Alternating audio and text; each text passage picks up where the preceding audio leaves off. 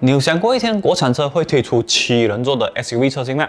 这辆车可能会在明年发布，因为早前本地媒体捕捉到了 Proton 正在测试一辆七人座的 SUV 车型。这辆 SUV 的车型代号是 XV 十一，它就是吉利的豪越，是一台非常大的七人座的 SUV 车型。既然在本地测试，就代表这款车可能会发布。而实际上，根据我们得到的消息，这款车也会在明年登场。究竟这辆车有什么值得期待呢？今天我们就带大家先看看这一个传说中的 Proton S 九十。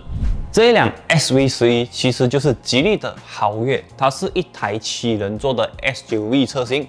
虽然叫做 SUV，但是它跟其他的吉利车款不一样，它采用的是一个叫做 CV 的平台。这个平台是之前这个吉利的 MPV 车型嘉际所采用的，所以没有错，它有着 SUV 的外观，但是实际上它就是一台 MPV 车型，所以它在越野的能力方面跟其他的吉利车款比起来是相对薄弱一点的。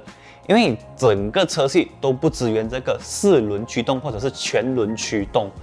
再来一点就是，这台车虽然是一台有着 SUV 外壳的 MPV 车型，但是实际上它的车身离地高度还是蛮高的，所以会有一定的通过性。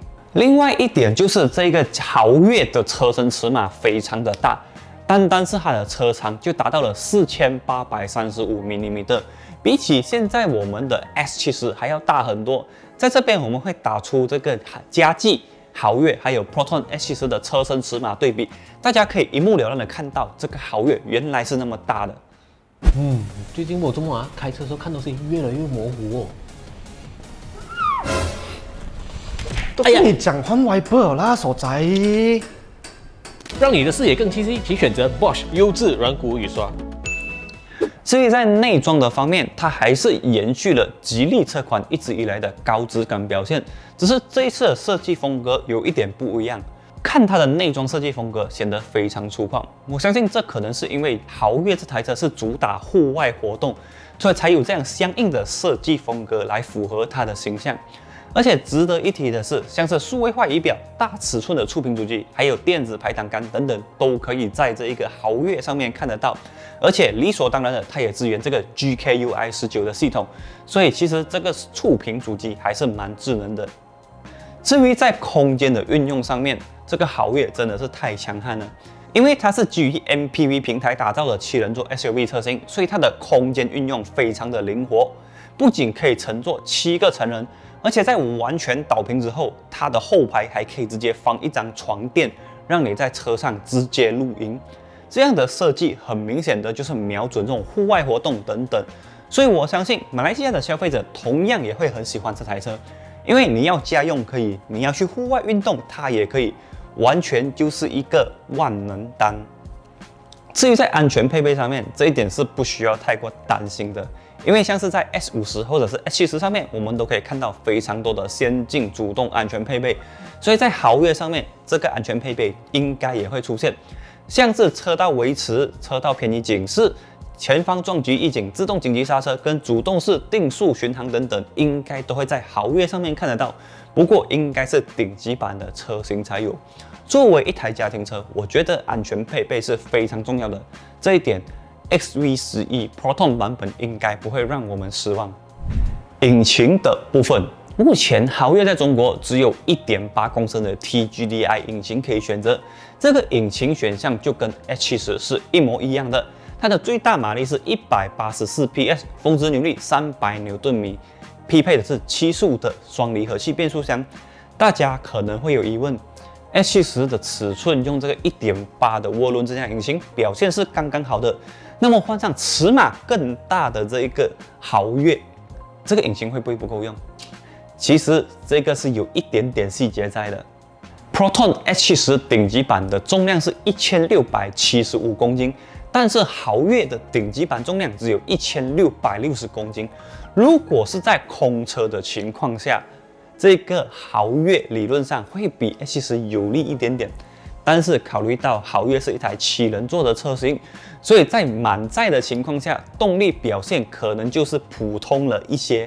但是作为家庭车，要那么强的动力干嘛？对不对？只要它可以满足我们的日常需求，这个引擎动力就足够了。但是还有一个细节要说到的是，目前 Proton 已经在本地设立了1.5 TGDI 的生产线，未来 Proton 的车款都会大量的采用这个引擎，包括了 H 十的小改款车型，同样的也会更换去这个1.5公升的引擎。所以未来马来西亚版的 XV11 可能也会采用这个1.5公升的涡轮增压引擎。不过这个只是我的猜测而已啦。究竟这台车会采用什么引擎，我们还是要等待马来西亚版本发布之后，我们才会知道。早在我国的媒体 Fantasy 捕获到了这个 XV11 出现在我国的谍照之前，我们就曾经在网站报道过这台车可能会来马来西亚。为什么我们这么说呢？这是因为在二零二零年年初的时候，我受到吉利的邀请，去到了这个中国的这一个吉利的生产基地。我在那里发现了一张图，这张图就是在上面他规划了 Proton 未来的产品线，其中一项就是他们会提供 CV 平台给 Proton。这个 CV 平台目前只出现了两款车，一款就是佳绩，一款是豪越。而根据我们得到的消息，佳绩引进马来西亚的计划已经被取消，它的地位会被这个豪越取代，最基本上百分之百这台车会来到马来西亚市场。只是来到了马来西亚市场之后，它会带给我们什么惊喜呢？这台车在中国的售价跟博越相比，其实只差了一点点，所以我们可以寄望的是，这台车正式发布之后，它的售价跟 S70 相比不会相差太远。如果这台车的顶配版本在十三万令吉里面，它应该又会是一辆爆款车型，而且它可以满足大部分消费者的需求。你是不是觉得这辆车很赞呢？欢迎你在影片的下方留言，让我们知道你对这辆车的看法，还有你对这辆车有什么期待的地方。嗯，最近我这么啊，开车的时候看东西越来越模糊哦。都跟你讲换 wiper 啦，所在。让你的视野更清晰，请选择 Bosch 优质软骨雨刷。好了，以上就是我们这一期视频的全部内容。欢迎大家在下方留言，任何你对这个豪越或者是 Proton SV11 的看法。哎，还有一点就是，这个 S90 只是官方的猜测，而其实官方在之前也列出了非常多可能关于这款车的命名。除了 S90 之外，它还可能叫做 S Fast。哪一个名字比较好听？我觉得它可能会延续这个数字系列的，但是无论如何，我们还是要等待 Proton 发布这款车才知道。那么这款车的发布就会在明年。